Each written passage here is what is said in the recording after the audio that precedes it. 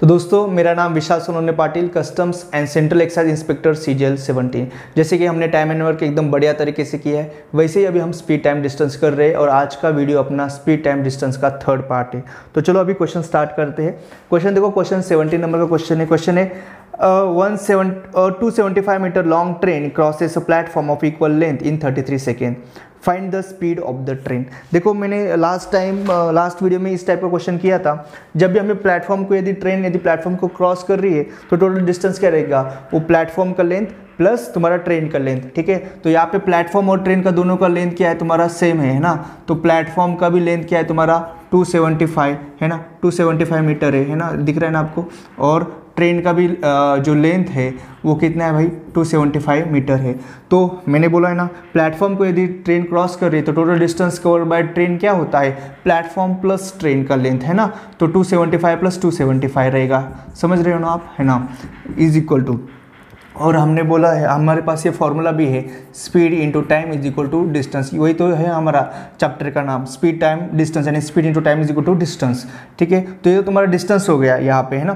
275 plus 275 जो कि होता है तुम्हारा 550 है तुम्हारा डिस्टेंस हो गया total distance cover by train to cross the platform और भाई तुम्हारा जो स्पीड है, वो स्पीड पूछा है और उन्होंने ये बताया था कि ये ट्रेन जो होती है, प्लेटफॉर्म को यदि उसको क्रॉस करना है तो उसको 33 सेकेंड लगते हैं। देखो, ये किसमें? मीटर में है है ना? और ये किसमें? सेकेंड में है। तो मैं इसको जब सॉल्व करूँगा तो मेरा स्पीड जो है, वो किसमें आएगा? मेरा मीटर पर सेकेंड में आ गया, आ जाएगा ना? तो चलो सॉल्व करते five fifty by thirty three is equal to तुम्हारा क्या है? ये स्पीड है, ठीक है? तो इसको सॉल्व करो। एलेवन थ्री ज़ा थर्टी थ्री एलेवन फाइव ज़ा फिफ्टी फाइव तो ये क्या हो गया? तुम्हारा स्पीड फिफ्टी बाय है ना? ये पचास है ना? Fifty by three meter per second तुम्हारा स्पीड है। बट यदि उन्होंने स्पीड यदि तुम्हें किलोमीटर पर आवर में पूछा है तो क्या करना होता है हमें? मीटर पर सेकेंड से यदि किलोमीटर पर आवर को जाना है तो किससे? एटीन बाय फाइव से मल्टीप्लाई करना पड़ेगा। मैंने पहले लेक्चर में बताया है है ना? तो एटीन बाय फाइव से मल्टीप्लाई करो तो क्या हो गया तुम्हारा? ये थ्री थ्री सिक्स ज़ा एटीन ये फाइव फाइव वन ज़ा फाइव फाइव टेन ज़ा फिफ्टी तो टेन इंटू सिक्स कितना तुम्हारा सिक्सटी यानी सिक्सटी किलोमीटर पर आवर है। यानी ट्रेन का स्पीड था तुम्हारा सिक्सटी किलोमीटर पर आवर एकदम आसान सा क्वेश्चन है है ना? क्वेश्चन में कुछ भी ऐसा डिफ़िकल्ट बिल्कुल नहीं है, ठीक है? और ये तो आपको क्वेश्चन करने ही है, ये सारे क्वेश्चन आपको सॉल्व करने अच्छे से नोट्स तो बनाना है बट उसके साथ साथ अपना टेलीग्राम का जो जो ग्रुप है, वहाँ से प्रीवियस ईयर करना है अपना, है ना? यदि आप at the rate Vishal sir central excise search कर लेते हो ना टेलीग्राम पर तो दो ग्रुप्स मिलेंगे तो दोनों ग्रुप ज्वाइन कर लेना है है ना? तो वहाँ पर बहुत ही ब्रिलियंट स्टूडेंट्स भी है, आपके सारे डाउट्स भी क्लियर कर लेंगे, जो अपना डिस्कशन का ग्रुप है उसमें। ठीक है, फिर अभी हम नेक्स्ट क्वेश्चन देखेंगे। तो दोस्तों, अभी हम रिलेटिव स्पीड का कंसेप्ट यहाँ पे समझने वाले रिलेटिव स्पीड का कंसेप्ट बहुत इंपॉर्टेंट होता है अपने एग्ज़ाम पॉइंट ऑफ़ इससे क्या होता है, तुम्हारे जो भी डिफ़िकल्ट क्वेश्चन है, उसको हम आसान कर सकते हैं, यदि आपको रिलेटिव स्पीड अच्छे से समझ में आ जाता है तो। और इसके क्वेश्चन तो मैं आगे लूँगा तो आपको उसमें समझ में ही आ जाएगा कि हम कितने अच्छे से रिलेटिव स्पीड का कंसेप्ट यूज़ करते हुए डिफ़िकल्ट क्वेश्चन को आसान करें देखो रिलेटिव स्पीड का तो पहले मैं प्रैक्टिकली कॉमन सेंस वाली बातें बोल देता हूँ। जैसे देखो, आप और आपका दोस्त है ना? आप और आपका दोस्त ऐसे दोनों यदि अलग अलग बाइक पे ट्रैवल कर रहे हो, है ना? बहुत बार आप ऐसे करते हो, दोनों अलग अलग बाइक पे ट्रैवल कर रहे हो, लेकिन फिर भी आप एक दूसरे से क्या करते हो तो बातें कर सकते हो। एकदम नहीं क्या आपको मतलब ऐसा फील होता है कि बाजू वाला आदमी नहीं क्या स्टेशनरी है है ना? ऐसा फील होता है। रिलेटिवली वो कितना दोनों भी तुम ऐसे रिलेटिवली फील होता है कि तुम दोनों भी ज़ीरो किलोमीटर पर आवर से ट्रैवल कर रहे हो, ठीक है ना? यानी दोनों का तुम्हारा क्या होता है रिलेटिव स्पीड उस टाइम ज़ीरो हो जाता है, ठीक है? लेकिन जैसे मान लो आप ऐसे जा रहे हो, सामने से दूसरा बाइक आया और यदि आप जा रहे हो सिक्सटी किलोमीटर पर आवर से और सामने आ गया, मानो जैसे सिक्सटी किलोमीटर पर आवर से। तो ऐसा आपको फील होगा कि वो one twenty kilometer per hour से आपके पास आ रहा है, यानी ज़्यादा स्पीड से आपके पास आ रहा है। और यदि आप जैसे सेम डायरेक्शन में जा रहे तो आप भी सिक्सटी से जा रहे हैं, आपका दोस्त भी सिक्सटी किलोमीटर पर आवर से जा रहा है तो ऐसा फील होता है, दोनों यदि सेम डायरेक्शन में तो ज़ीरो किलोमीटर पर आवर से ट्रैवल कर रहे हैं। ठीक है? तो ये सारी चीज़ें मैं अभी फॉर्मूले के वो इससे मैं यहाँ पे आपको बता दूँगा। ठीक है? इसमें कोई भी ऐसे घबराने वाली कोई भी बात नहीं है। देखो भाई, पहले तो ले लो, दो होती है चीज़ें रिलेटिव स्पीड में। एक होती है तुम्हारा सेम डायरेक्शन ठीक है? एक होता है तुम्हारा क्या होता है भाई? तुम्हारा एक सेम डायरेक्शन सेम डायरेक्शन में रिलेटिव स्पीड क्या होता है? जैसे मान लो मैं पहले क्या करता, कंडीशन लिख लेता हूँ, ठीक है? जैसे मान ये एक आदमी है, एक कोई भी है, एक चीज़ है, ये जो ट्रैवल कर रही है एस वन स्पीड से, और दूसरी एक चीज़ है, वो ट्रैवल कर रही है एस टू स्पीड से, और दोनों भी क्या कर रही है सेम डायरेक्शन में ट्रैवल कर रही है। मान लो भाई इसका स्पीड है सिक्सटी किलोमीटर पर आवर ठीक है? और इसका स्पीड है भाई सेवेंटी किलोमीटर पर आवर ठीक है? अभी दोनों का यदि रिलेटिव स्पीड से हमें पूछा जाए तो डायरेक्ट फॉर्मूला होता है रिलेटिव स्पीड का S one minus S two यानी दोनों का स्पीड का डिफरेंस होता है। तो ऐसा नहीं करना कभी भी मतलब sixty minus seventy is equal to ये किलोमीटर पर आवर, ठीक है? Sixty minus seventy is equal to minus ten, ऐसा नहीं लिखना, क्योंकि स्पीड है, और स्पीड क्या होती है? स्केलर क्वांटिटी होती है ना? तो स्पीड, स्केलर क्वांटिटी होती है तो माइनस में नहीं आती, पहली बात। तो ठीक है, कोई भी बड़ा है उससे छोटा माइनस कर लो, यानी दोनों का डिफरेंस लेना है। यानी सिक्सटी और सेवेंटी का डिफरेंस कितना भाई? सिंपल सी बात है भाई, टेन किलोमीटर पर आवर। है ना? पॉजिटिव ही लेना है। यानी यानी, ये ये क्वेश्चन लेना ये ये अभी कैसा बन जाएगा? ठीक है? अभी देखो, इस क्वेश्चन को हम इजी कैसे कर सकते हैं? देखो, जैसे ये एक बॉडी है, ठीक है? ये सेकेंड बॉडी है। तो जो रिलेटिव स्पीड होती है वो वो उस बॉडी को दे देना जिसका स्पीड ज़्यादा था। और दूसरी जो बॉडी जिसका स्पीड कम था, उसको क्या करना भाई ज़ीरो समझ लेना। उसका स्पीड समझ लेना ज़ीरो किलोमीटर पर आवर यानी सिंपल सी बात है, उसको समझ लेना कि भाई, वो नहीं के चल ही नहीं रहा, वो नहीं का रुका हुआ है, ठीक है? और जो बड़ा वाला बॉडी ना, उसको रिलेटिव स्पीड दे देना। यानी इसको, ये सेकेंड बॉडी ना, उसका स्पीड बन जाएगा भाई तुम्हारा टेन किलोमीटर पर आवर ठीक है? ऐसे करके इस क्वेश्चन को सॉल्व कर लेना। यदि आप ऐसे करोगे ना तो ये ये टाइप के क्वेश्चन तो हमने ऑलरेडी ऐसे सॉल्व किए तो क्वेश्चन बहुत ही आसानी से सॉल्व होता है, ठीक है? ये वाला क्या था? सेम डायरेक्शन में ऐसा होता है रिलेटिव स्पीड याद रखना सेम डायरेक्शन में क्या होता है? माइनस होता है। यदि याद भी नहीं रहता आपका माइनस तो आप कॉमन सेंस लगा सकते हो ना भाई सेम डायरेक्शन में जा रहे हैं। तो रिलेटिव स्पीड कम रहेगा अपोजिट डायरेक्शन में रिलेटिव स्पीड ज़्यादा रहेगा तो अपोजिट डायरेक्शन में तो, तो प्लस हो जाएगा। ये तो कॉमन सेंस वाली बात इसमें याद रखने वाली कुछ भी बात नहीं है। ठीक है अभी मैं बताता हूँ भाई तुम्हारा अपोजिट डायरेक्शन ठीक है अपोजिट डायरेक्शन ठीक है। तो ये स्पीड यहाँ से इधर जा रहा है। अपोजिट डायरेक्शन में यदि है, करना है भाई हमें तो हम इसको ये अपोजिट हो गया ना अपोजिट डायरेक्शन ये 60 या 70 अपोजिट डायरेक्शन में क्या होता है भाई? रिलेटिव स्पीड का होता है एडिशन तो ये ये क्या हो जाएगा? 60 प्लस सेवेंटी यानी ये हो जाएगा तुम्हारा 130 किलोमीटर पर आवर अब यही सिचुएशन यही सिचुएशन यदि मैं रिलेटिव स्पीड के कंसेप्ट का यूज़ करते हुए करूँ तो कैसा रहेगा? देखो सेम बात कि अभी पहले मैंने क्या बोला था? जो छोटा वाला होता है, जिसका स्पीड छोटा होता है, उसको ज़ीरो किलोमीटर पर आवर देना, और जिसका बड़ा स्पीड होता है, उसको क्या देना? रिलेटिव स्पीड दे देना. ये कब बोला था मैंने? पहले बोला था, जब सेम डायरेक्शन में था। लेकिन जब अपोजिट डायरेक्शन में होता है तो आप किसी को भी ज़ीरो दे सकते हो और किसी भी बॉडी को रिलेटिव स्पीड दे सकते हो। मतलब मैंने यदि इसको ज़ीरो दिया तो मुझे यदि मैं इसको रिलेटिव स्पीड दूँगा तो मैं इसको क्या दूँगा? मानूँगा कि ये 130 किलोमीटर पर आवर से ट्रैवल कर रहा है। मतलब ये इसको स्पीड हो गया ज़ीरो और ये 130 किलोमीटर पर आवर से ट्रैवल कर रहा है। और डायरेक्शन तो है ही भाई। ये स्टेशनरी मतलब इसका कुछ डायरेक्शन नहीं, और ये यहाँ से यहाँ ट्रैवल कर रहा है। ठीक है, ये ऐसे ट्रैवल कर रहा है। ऐसे सिंपल सब क्वेश्चन रहेगा। ठीक है, और हम उल्टा भी कर सकते हैं। मतलब इसको भी तुम 130 किलोमीटर पर आवर कर सकते और इसको भी ज़ीरो कर सकते हैं अपोजिट डायरेक्शन में। ठीक है? तो इतना ये सिंपल सा कंसेप्ट है। इतना याद रखना भाई रिलेटिव स्पीड जब सेम डायरेक्शन में रहेगा तो वो क्या करेगा? माइनस करेगा, लेकिन अपोजिट डायरेक्शन में आएगा तो वो क्या करेगा? प्लस करेगा। मुझे लगता है आपको एक कंसेप्ट समझ में आ गया होगा। लेकिन समझ में भी नहीं आया होगा तो कोई दिक्कत वाली बात थोड़ी ना है। ये इसको हम ही, जो अभी नेक्स्ट क्वेश्चन करेंगे ना तो उसमें ये सारी की सारी कंसेप्ट एकदम अच्छे से क्लियर हो जाएगी। ठीक है? और यार वीडियो यदि तुम्हें पसंद आ रहा है ना वीडियो को लाइक शेयर कमेंट तो आप बिल्कुल किया करो। ठीक है? तो दोस्तों, अभी हम नेक्स्ट क्वेश्चन देखेंगे। क्वेश्चन देखो a train 180 metre long moving at the speed of 20 metre per second overtakes a man moving at the speed of 10 metre per second in the same direction the train passes the man in देखो relative speed का concept लगेगा। ठीक है relative speed का concept कब लगता है? जब दो स्पीड्स रहेंगे आपको, एक तो सेम डायरेक्शन में रहेगी या अपोजिट डायरेक्शन में रहेगी। इस क्वेश्चन से आपको कंसेप्ट बहुत अच्छे से क्लियर हो जाएगी।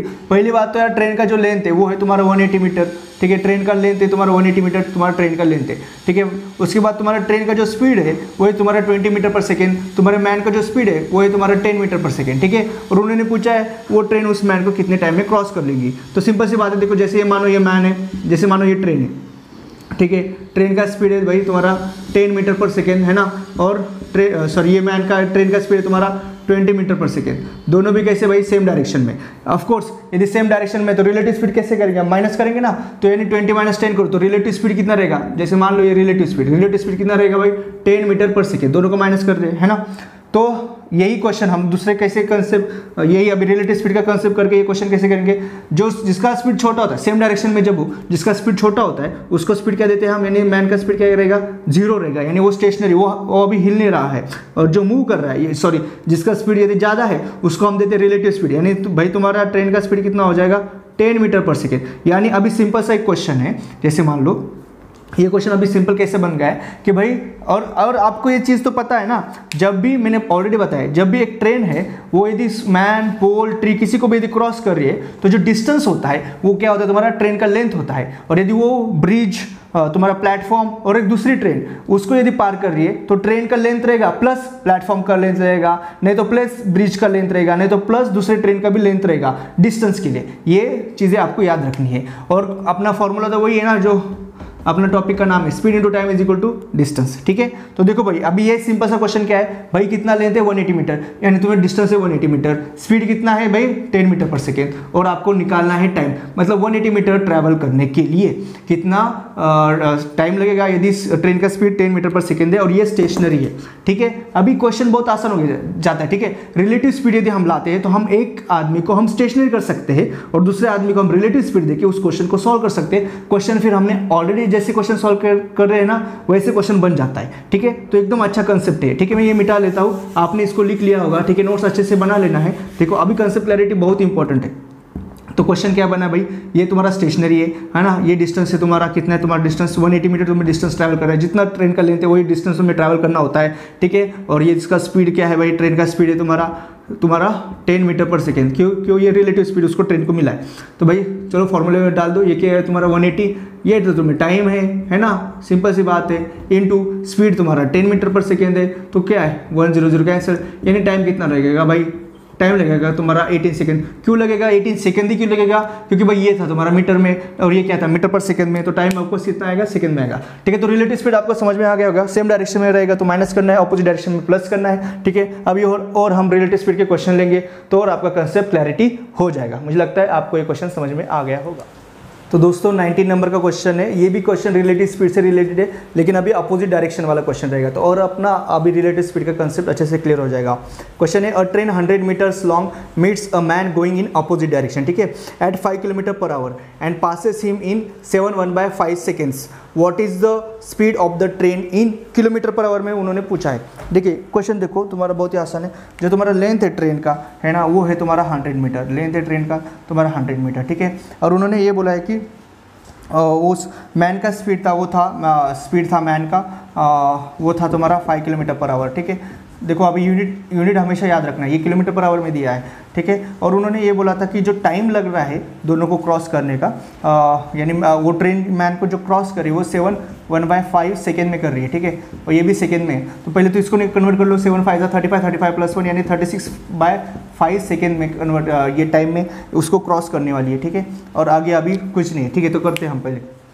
तो देखो, जैसे मान लो, जैसे ये मैन है है ना? ये मैन यहाँ से अपोजिट डायरेक्शन यहाँ से आ रहा है और ये ट्रेन ऐसे जा रही है। तो ये ऐसा कंडीशन यहाँ पे हो रहा है, ठीक है? मैन और ये ट्रेन ऐसे जा रही है, ठीक है? तो दोनों दोनों अपोजिट यदि डायरेक्शन में है तो सिंपल सी बात है रिलेटिव स्पीड का क्या होता है? एडिशन होता है, ठीक है? जैसे देखो क्या मतलब क्या रहेगा? रिलेटिव स्पीड कितना रहेगा भाई?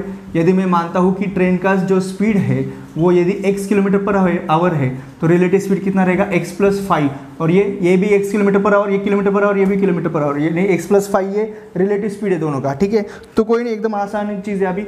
यानी रिलेटिव स्पीड में मतलब होता क्या है तुम्हारा? कि जैसे ये मैन है, ठीक है? हाँ ये इधर से इधर आ रहा है और ये जो ट्रेन है, ये इधर से इधर जा रही है, ठीक है? तो रिलेटिव स्पीड में क्या आता है? मतलब हम मान लेते हैं, जैसे इसको स्टेशनरी मानते हैं, यानी इसका क्या हो गया तुम्हारा?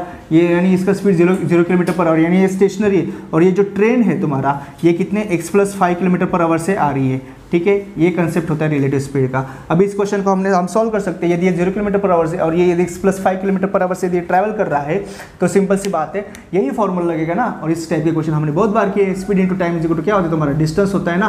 तो डिस्टेंस क्या होता है हमेशा इस कंडीशन में मैन की कंडीशन में। जो तुम्हारा ट्रेन का लेंथ होता है, वो तुम्हारा डिस्टेंस होता है। और जो तुम्हारा, ये मैन की कंडीशन में पोल की कंडीशन में, है ना ट्री के कंडीशन में, तुम्हारा डिस्टेंस क्या रहता है? तुम्हारा लेंथ रहता है ट्रेन का। लेकिन जब तुम्हारा प्लेटफॉर्म ब्रिज रहेगा ना तब जो डिस्टेंस रहेगा, वो तुम्हारा ट्रेन का लेंथ तो रहेगा प्लस प्लेटफॉर्म का लेंथ रहेगा, या ट्रेन का लेंथ तो रहेगा प्लस ब्रिज का लेंथ रहेगा। ये सिर्फ़ आपको अच्छे से समझ लेना है। तो क्वेश्चन में कुछ भी नहीं एकदम आसान क्वेश्चन है, ठीक है? तो चलो अभी हम सॉल्व करते हैं इस क्वेश्चन को। ठीक है, इस क्वेश्चन को यदि हम सॉल्व करना है हमें तो क्या है? स्पीड कितना है भाई? तुम्हारा एक्स प्लस फाइव और याद रखो ये किलोमीटर पर आवर में, ठीक है? और तुम्हारा टाइम कितना दिया है? उन्होंने thirty six by five unit अच्छे से याद रखो आप, बाकी कुछ नहीं इसमें, ठीक है? इज़ इक्वल टू क्या है भाई? तुम्हारा लेंथ कितना? हंड्रेड मीटर तो चलो पहले इसको सॉल्व करते हैं, फिर हम यूनिट कन्वर्जन कर लेंगे। ठीक है? तो ये अभी मैं क्या करता हूँ? ये ऊपर का यहाँ से मिटा लेता हूँ, है ना? क्योंकि आपने अच्छे से लिख लिया होगा। नोट्स तो आप बना रहे हो ना, एकदम बढ़िया तरीके से तो कोई टेंशन वाली बात नहीं। और मुझे भेज देना नोट्स का वीडियो या पीडीएफ कुछ भी बना के निकल मुझे भेज देना। ठीक है? तो इसको सॉल्व करता हूँ मैं अभी, है ना? तो ये फाइव ऊपर जाएगा और ये थर्टी सिक्स नीचे आएगा। यानी तुम्हारा एक्स प्लस फाइव जो है एक्स प्लस फाइव जो तुम्हारा है, वो क्या बनेगा? Hundred into five upon thirty six लेकिन इधर ये क्या है? मीटर पर सेकंड से रिले ये मीटर पर सेकंड में आएगा। इधर तो ये किलोमीटर पर आवर में, यानी मुझे ये क्या करना पड़ेगा? इसको किलोमीटर पर आवर में कन्वर्ट करना पड़ेगा। और मीटर पर सेकंड को यदि मुझे किलोमीटर पर आवर में कन्वर्ट करना है तो सिंपल सी बात है भाई, मुझे एटीन बाई फाइव से मल्टीप्लाई करना पड़ेगा। ये तो आपको यूनिट कन्वर्जन आता है है ना? तो अभी कुछ भी नहीं है क्वेश्चन में। एटीन वन ज़ा एटीन एटीन टू ज़ा थर्टी सिक्स देन ये तुम्हारा करो जैसे ये फाइव और ये फाइव कटे। ये टू और ये कितना बन जाएगा? फिफ्टी यानी एक्स प्लस फाइव यदि तुम्हारा फिफ्टी है तो सिंपल सी बात है एक्स क्या रहेगा तुम्हारा? फिफ्टी माइनस फाइव यानी एक्स रहेगा तुम्हारा forty five kilometre per hour यानी सिंपल सी बात है, जो ट्रेन का स्पीड था, वो था तुम्हारा forty five kilometre per hour ठीक है? तो बस अपोजिट डायरेक्शन में रहेगा तो रिलेटिव स्पीड ऐड करना है सेम डायरेक्शन में रहेगा तो रिलेटिव स्पीड क्या करना है? माइनस करना है. और ये एक जो जो रहेगा उसको ज़ीरो करना है, दूसरे को उसका स्पीड का मतलब एडिशन करके उसको उसका रिलेटिव स्पीड देना है. फिर क्वेश्चन कुछ भी नहीं होता है स्पीड इंटू टाइम डिस्टेंस में पुट करना है और आसानी से क्वेश्चन सॉल्व करना है। तो दोस्तों नेक्स्ट क्वेश्चन अभी देखते हैं हम। The distance between two cities A and B is 330 kilometre a train starts from A at 8 a m and travels towards B at 60 kilometre per hour another train starts from B at 9 am and travels towards A at 75 km per hour. At what time do they meet? देखो question एकदम आसान है। है ना? पहले तो मैं ये लिख लेता हूँ कि ए का सी ए का स्पीड है भाई 60 किलोमीटर पर आवर ठीक है? ये आपको दिख रहा होगा ना? दिख रहा है ना ये वाला चीज़? बी का स्पीड है 75 किलोमीटर पर आवर ठीक है? दो सिटीज़ है, उसका डिस्टेंस है 330 किलोमीटर 330 किलोमीटर ठीक है? ये डिस्टेंस है। और ए आठ बजे सुबह स्टार्ट होता है है ना? ए आठ बजे और बी नौ बजे, ठीक है? तो देखो भाई, एकदम क्वेश्चन ईजी है। ये क्वेश्चन तो यदि आपको पता है तो आप 15 से 20 सेकंड भी बहुत ज़्यादा हो जाते हैं ये क्वेश्चन करने के लिए। लेकिन मैं आपको पढ़ा रहा हूँ, समझा रहा हूँ तो मैं इसको डिटेल में आपको बताऊँगा, एकदम कंसेप्ट क्लियर कर दूँगा। देखो ए बी दोनों का डिस्टेंस है तुम्हारा 330 किलोमीटर, ठीक है? ये दोनों का डिस्टेंस 330 किलोमीटर। आठ बजे ए भाई तुम्हारा स्टार्ट होता है, यहाँ से इधर जाना 60 किलोमीटर पर आवर स्पीड से, ठीक है? ये 60 किलोमीटर पर आवर स्पीड से। बी तुम्हारा स्टार्ट हो जाता है नौ बजे और बी का स्पीड है तुम्हारा 75 किलोमीटर पर आवर क्वेश्चन आपको इजीली समझ में आ गया होगा और उन्होंने पूछा कि कितने बजे कितने बजे ये तुम्हारे दोनों मिलने वाले हैं। तो पहले देखो, एक तो टाइम अलग अलग है, ये आठ बजे स्टार्ट हो रहा है, ये नौ बजे स्टार्ट हो रहा है, ठीक है? एक दूसरे के पास आ रहे तो रिलेटिव स्पीड का कंसेप्ट लगने वाला है। लेकिन पहले रिलेटिव स्पीड का कंसेप्ट लगाने से पहले पहले तुम टाइम इक्वल कर लो। मतलब आठ बजे ना तो ये नौ बजे तक कितना डिस्टेंस जाएगा? सिंपल सी बात है, एक आवर में कितना जा रहा है? सिक्सटी किलोमीटर क्योंकि किलोमीटर पर आवर मतलब एक आवर में सिक्सटी जा रहा है ना तो आठ से नौ बजे में कितना एक आवर होता है तो ये सिक्सटी किलोमीटर इधर जाएगा, क्योंकि ये यहाँ से इधर जा रहा है तो यहाँ से सिक्सटी किलोमीटर जाएगा। यानी मान लो ये यहाँ पे आ गया, यहाँ पे मान लो सिक्सटी किलोमीटर, ठीक है? तो ए यहाँ पे आ गया है भाई, यही सिचुएशन है। और बी तो यही पे पी कहीं बी कहीं पे भी नहीं गया। और ये 60 किलोमीटर चल गया टोटल डिस्टेंस था ऑलरेडी 330 330 उसमें से तुम्हारा 60 चला गया, यानी बचा हुआ डिस्टेंस कितना है अभी? 270 किलोमीटर। तो ये डिस्टेंस है तुम्हारा 270 किलोमीटर। आपको दिख रहा होगा ना अच्छे से? एकदम आसान क्वेश्चन है। मैं पूरा कंसेप्ट एकदम छोटे बच्चे के जैसे, एकदम पूरा कंसेप्ट ठीक है? 270 किलोमीटर। एक बार कंसेप्ट क्लियर हो गया ना तो क्वेश्चन कैसे भी आ जाए, आपको आंसर आ जाता है। तो 270 किलोमीटर। अभी कितने बजे है भाई? नौ बजे है? ना? ये नाइन है, ठीक है? और ये भी नाइन है।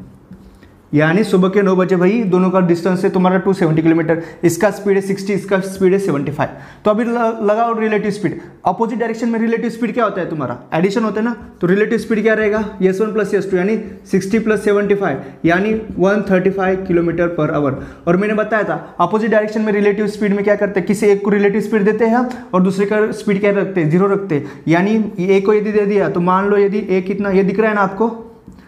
135 किलोमीटर पर आवर मान लो ए को तुम्हें तुमने दे दिया स्पीड 135 किलोमीटर पर आवर और बी का स्पीड कितना रहेगा फिर? ज़ीरो किलोमीटर पर आवर यानी क्वेश्चन इतना आसान हो गया अभी, भाई 270 किलोमीटर डिस्टेंस है। ए ने क्या 135 किलोमीटर से दौड़ता है और बी तो स्टेशनरी है। तो ये डिस्टेंस तुम्हारा ए कितने टाइम में कवर कर देगा? तो ये कुछ क्वेश्चन है अभी। क्वेश्चन तो सबसे आसान बन गया। इसको मैं मिटाता हूँ, आपने कर लिया होगा। अभी तो कुछ भी नहीं बचा क्वेश्चन में। ठीक है?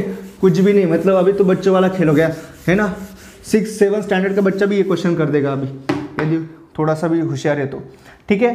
तो भाई तुम्हारा डिस्टेंस है। मेरे आपने तो पता है आपको ये, यही तो है अपना formula speed into time is equal distance जो चैप्टर का नाम है वही तो फॉर्मूला है। Speed into time is equal distance speed कितना है तुम्हारा? 135 टाइम तुम्हें निकालना है. डिस्टेंस तुम्हारा 270 किलोमीटर है. यानी टाइम कितना रहने वाला है? देखो, ये किलोमीटर पर आवर है, ये आवर है. सॉरी ये किलोमीटर है. तो टाइम किसमें आएगा भाई? आवर में आएगा. तो 270 seventy by one thirty five is equal to two hour यानी दो आवर के बाद टू आवर्स के बाद ये दोनों मिलने वाले. भाई, नौ बज गए यहाँ पे. टू आवर्स के बाद कितने बजेंगे? आकरा बजेंगे ना? यानी 11 ए एम को, यानी 11 बजे दोनों मिलने वाले हो गया क्वेश्चन सॉल्व तो ऐसे क्वेश्चन में क्या करना है? सिंपल एक तो सेम टाइम पे उसको लेके आओ है ना? मैं जैसे मैंने नौ बजे का सिचुएशन दिखाया था। नौ बजे लेके आओ फिर रिलेटिव स्पीड लगाओ अपोजिट डायरेक्शन में रिलेटिव स्पीड ऐड हो जाएगा फिर तो क्वेश्चन में कुछ भी नहीं है ना? एकदम आसान क्वेश्चन है इसको अच्छे से सॉल्व आपने नेक्स्ट क्वेश्चन अभी आपको दिखना है। क्वेश्चन देखो two train one forty metre and one sixty metre long ठीक है? Run at the speed of 60 km per hour and 40 km per hour respectively in opposite directions on parallel tracks. The time in seconds which they take to cross each other देखो question बहुत ही आसान है question में difficult ऐसे कुछ भी नहीं है, ठीक है? लेकिन सिर्फ़ निके यूनिट हमेशा स्पीड टाइम डिस्टेंस में याद रखना है आपको। फ़र्स्ट जो ट्रेन है, उसका जो लेंथ है, वो है 140 मीटर ठीक है? एक मिनट लेंथ क्या है फ़र्स्ट ट्रेन का? 140 मीटर है ना? और सेकेंड ट्रेन का है तुम्हारा लेंथ सेकेंड ट्रेन का लेंथ है भाई 160 मीटर ठीक है? फ़र्स्ट जो ट्रेन है, उसका स्पीड जो है, वो है 60 किलोमीटर पर आवर और सेकेंड जो ट्रेन है, उसका स्पीड है तुम्हारा 40 किलोमीटर पर आवर है ना? और उन्होंने पूछा है कि भैया, कितने टाइम में एक दूसरे को क्रॉस कर देगी? तो सिंपल सी बात है, मैंने बताया था, जब कोई मैन ट्री या कुछ भी हो, जो एक पॉइंट जैसे मैन ट्री पेड़, है ना? कुछ भी हो पोल उसको क्रॉस करना है ना तो टोटल डिस्टेंस कितना लेते हैं? हम ट्रेन का डिस्टेंस लेते हैं। लेकिन यदि प्लेटफॉर्म या ट्रेन का यदि हो प्लेटफॉर्म, ट्रेन, ब्रिज यदि चीज़ें हो तो टोटल डिस्टेंस जो होता है होता है ना, वो क्या लेते हैं हम? ट्रेन का लेंथ प्लस प्लेटफॉर्म का लेंथ या ट्रेन का लेंथ प्लस ब्रिज का लेंथ या एक ट्रेन का लेंथ प्लस दो, दूसरे ट्रेन का लेंथ यानी दोनों ट्रेन का लेंथ का एडिशन होता है टोटल डिस्टेंस ये चीज़ें आपको पता है। ये चीज़ें नहीं तो नहीं नोटबुक में लिख लेना, ठीक है? ऐसे ही क्वेश्चन आते हैं, बहुत क्वेश्चन आसान होते हैं, ठीक है? तो दो ट्रेन से, दो दो ट्रेन को एक दूसरे को क्रॉस करना है ना तो टोटल डिस्टेंस रहेगा दोनों ट्रेन का लेंथ ठीक है? यानी L one plus L two देखो, पहले तो फॉर्मूला लिखते हैं लिखते हैं हम। Speed into time is distance जो चैप्टर का नाम है, वही तो फॉर्मूला है, ठीक है? स्पीड देखो भाई, एक ये ट्रेन है, जैसे मान लो, एक ये ट्रेन है। दोनों ट्रेन एक दूसरे के आस मतलब एक दूसरे के ऑपोजिट है ना? अपोजिट आ रही है। तो रिलेटिव स्पीड हमें क्या करना है? जब भी दो स्पीड्स है तो रिलेटिव स्पीड लेना है और एक स्पीड रिलेटिव एक रिलेटिव स्पीड एक ट्रेन को दे देना, दूसरे का ज़ीरो स्पीड दे देना है, ठीक है? तो दोनों का एडिशन कितना रहेगा भाई? 60 प्लस 40 100 एडिशन क्यों? क्योंकि अपोजिट डायरेक्शन में, ठीक है? तो ट्रेन का ये मतलब और ये जो रिलेटिव स्पीड है, यानी 60 प्लस 40 100 किलोमीटर पर आवर ये एक ट्रेन को दे देना है। जैसे मान लो मैंने इसको दे दिया तो इसका स्पीड बन गया भाई एस वन यानी 100 किलोमीटर पर आवर और दूसरा ट्रेन का क्या रहेगा? दूसरा ट्रेन का स्पीड ज़ीरो रहेगा, यानी वो स्टेशनरी है है ना? ऐसा क्वेश्चन को बनाना है आपको, ठीक है? और कितना है टोटल डिस्टेंस क्योंकि देखो क्रॉस करना है ना आपको। देखो, जैसे मान लो ये वाला ट्रेन है, ये वाला ट्रेन है, ऐसे एक दूसरे को क्रॉस करने, कर रहे, ठीक है? तो टोटल डिस्टेंस रहेगा भाई दोनों ट्रेन का लेंथ और उन्होंने ये पूछा है कि ये क्रॉस करने में कितना टाइम लग रहा है? तो क्वेश्चन बहुत ही आसान है। पहले तो डिस्टेंस कितना है भाई? 140 फोर्टी प्लस वन यानी कितना हो गया तुम्हारा? 300 मीटर एकदम आसान है ना? 300 मीटर डिस्टेंस है स्पीड है तुम्हारा 100 किलोमीटर पर आवर तुम्हें 300 मीटर डिस्टेंस कितने टाइम में कवर करेगा? यदि 100 किलोमीटर पर आवर स्पीड रहेगा तो। इतना आसान क्वेश्चन है, लेकिन देखो यहाँ पे क्या है? 100 kilometre per hour kilometre per hour है, यहाँ पे क्या है? मीटर। आंसर पूछा है सेकंड में। तो पहले इस 100 किलोमीटर पर आवर को मीटर पर सेकंड में तो कन्वर्ट करो। तो आपको पता है, किलोमीटर पर आवर को मीटर पर सेकंड में कैसे कन्वर्ट करते हैं हम? इंटू फाइव बाई एटीन करते पता है ना आपको ये? ये वाली चीज़ें। फाइव बाई एटीन से मल्टीप्लाई करते करो फिर ये क्या हो गया? Five hundred by eighteen metre per second speed बन गया इसका। यानी ये क्या है? Five hundred by eighteen metre per second है। ठीक है? तो अभी पुट करो यार इक्वेशन में। कुछ भी नहीं अभी इक्वेशन स्पीड कितना है तुम्हारा? फाइव हंड्रेड बाई एटीन भाई, तुम्हारा टाइम कितना है? वो तो निकालना है। डिस्टेंस कितना कवर करना है? 300 मीटर क्योंकि दोनों ट्रेन का लेंथ का एडिशन 300 है। कुछ भी नहीं अभी। ये दो ज़ीरो ये दो ज़ीरो कैंसिल है। ठीक है? अभी, ठीक है ना? सही है, एकदम कोई तकलीफ़ नहीं। ठीक है, इधर जाएगा। T is equal to three into eighteen divided by five है ना? तो ये एटीन इंटू थ्री कितना हो गया तुम्हारा? Fifty four divided by five है ना? एक तो नहीं तो ऐसे इसको सॉल्व करो या ऐसे नहीं तो ऐसे करो, इसको भी डबल करो, इसको भी डबल करो। तो ये क्या हो जाएगा? One nought eight by ten और अभी क्या है? अभी तो बहुत ही आसान है। One nought eight by ten क्या होता है तुम्हारा?